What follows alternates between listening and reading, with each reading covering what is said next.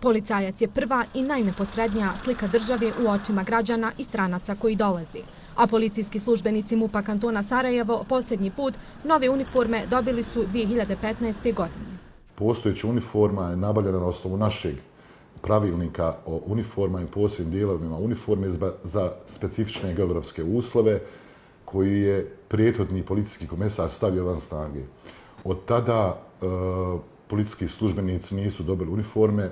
Jedan dio pojedinačno dijelova uniforme je zanovljen 2019. i 2020. godine na način da su policijski službenik, službenici dobili samo određene dijelove uniforme i ne čitavu. Godinama unazad MUP kantona Sarajevo osigurava godišnja sredstva u budžetu za nabavku uniformi, ali i dalje postoje obstrukcije zbog kojih policijski službenici nosi stare i iznošene uniforme, te se ova nabavka ne može realizirati. Prvobitno, zbog e, nepostojanja uredbe u jedinstvenoj policijskoj uniformi na nivou Federacije Bosne i Hercegovine.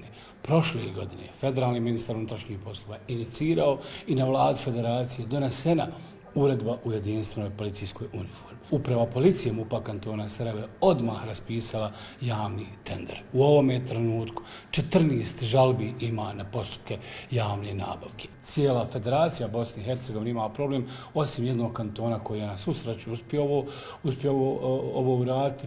Ostali kantone nisu. Katica dodaje da se u maju sastao sa federalnim i kantonalnim ministrima, donesen je zaključak, a FUP se obratio vijeću ministara i agenciji za javne nabavke da se pojednostavi pravilnik koji reguliše ovu tematiku. Televizija Sarajevo također je poslala upit agenciji za javne nabavke, ali odgovor nismo dobili taj pravilnik se izmeni i jednostavno se to donesi. Ili, evo, raduje me da vidim da, da postoji inicijative u parlamentarnoj skupštini Bosne i Hercegovine da se donese i novi zakon o javnim nabavkama ili da se izmijeni ovaj postojeći definitivno i to nužnost za sve nas. Mi smatramo da je vrlo važno da zakon o javnim nabavkama odgovori tom antikoruptivnom nekom elementu i to je neophodno. Slažemo se s tim, ali ne može nas kočiti da nabavljamo e, opremu za naše policijske službenike. A nove policijske uniforme potrebne su iz više razloga.